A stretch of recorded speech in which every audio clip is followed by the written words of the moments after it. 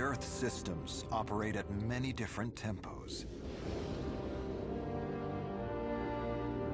Some, like the weather, are quick. Others take many millennia to complete a single cycle.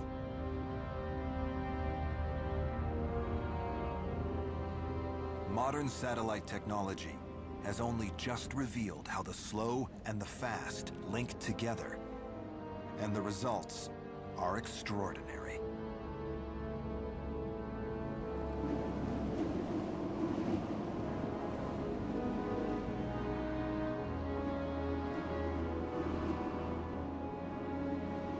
This parched land, the Sahara Desert in Africa, was once lush and green.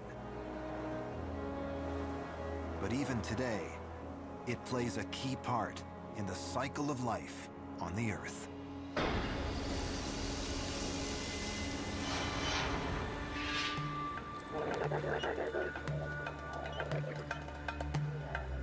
It's May, the height of the dry season.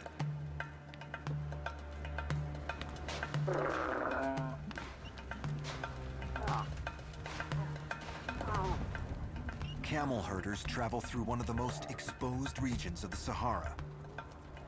An ancient inland sea that dried up 5,000 years ago. The Bodele Depression.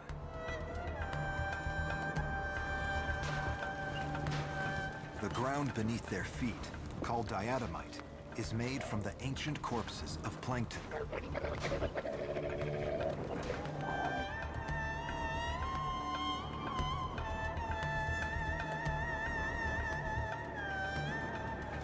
It's rich in compounds of iron and phosphorus, two elements needed by all known living organisms.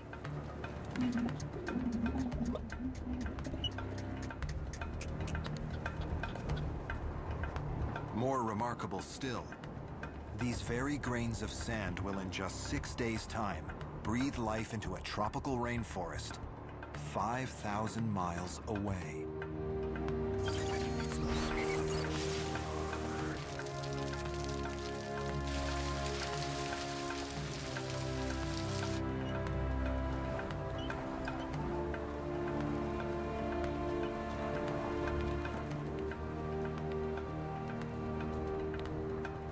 It takes just one flake of diatomite to lift into the air to start the process of rebirth.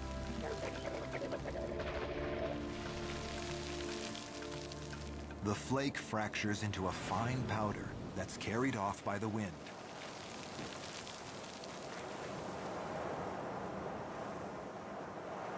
Soon more microscopic flakes fill the air.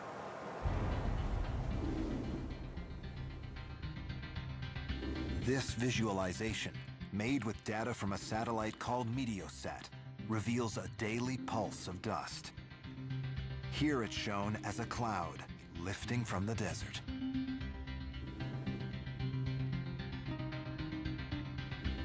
The dust rises with an almost clockwork precision at noon each day.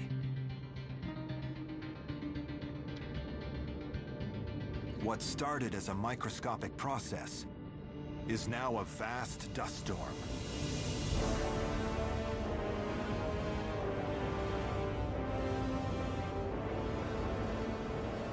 It's 100 stories high and several hundred kilometers wide.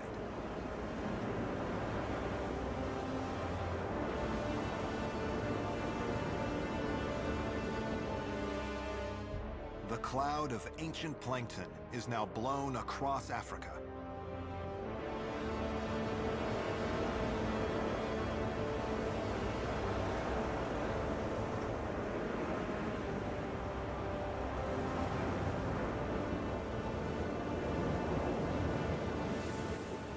At the west coast, the dust is drawn upwards high into the sky and begins an epic voyage across the Atlantic, carried by the prevailing wind.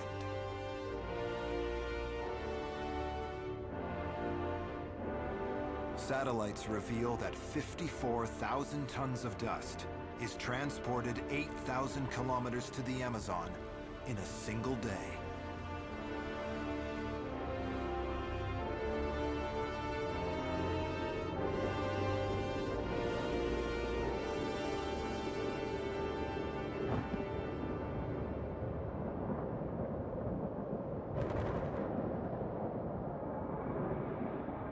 Here in these clouds, high above the rainforest, that the ancient plankton is reborn in spectacular fashion. The minerals in the dust dissolve into water droplets. It falls onto the Amazon with the rain. Precipitation falls incessantly throughout what is now the Amazonian rain season, delivering a total of 40 million tons of African dust into the forest below.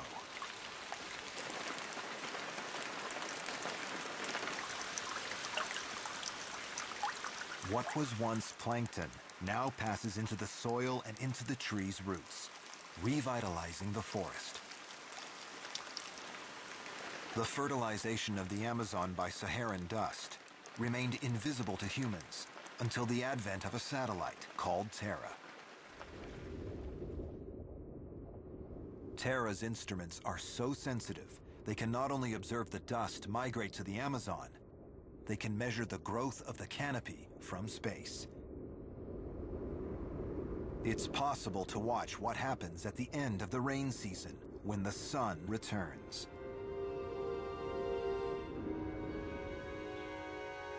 For the first time in six months, the sun shines directly onto the forest. The result is an explosion in growth.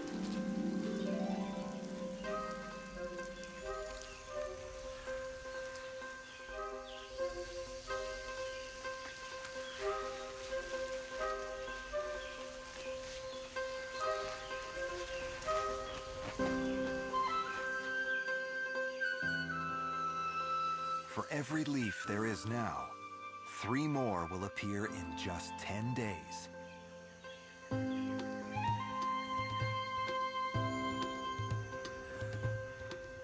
A wave of green crosses the continent.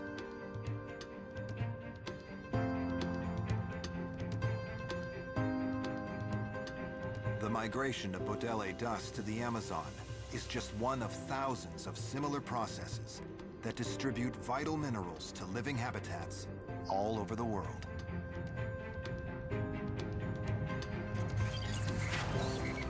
Deserts, mountains, and ancient sediments.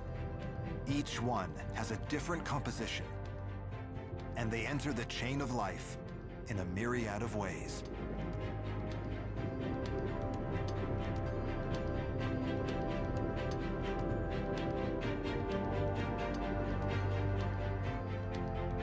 Unique soil around the planet depends on these processes.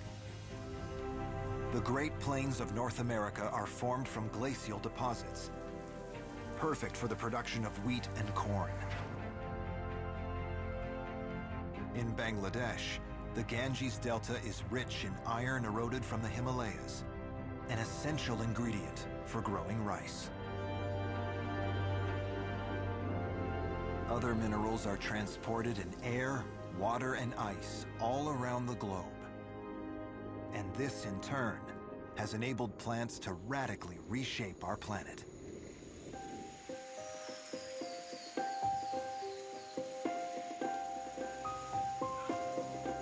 Plants are more than just a product of the earth.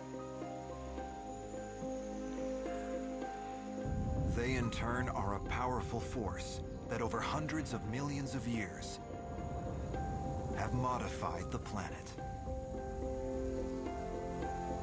They have changed the composition of the atmosphere and have defined what we humans are, shaping many aspects of our bodies and even our minds.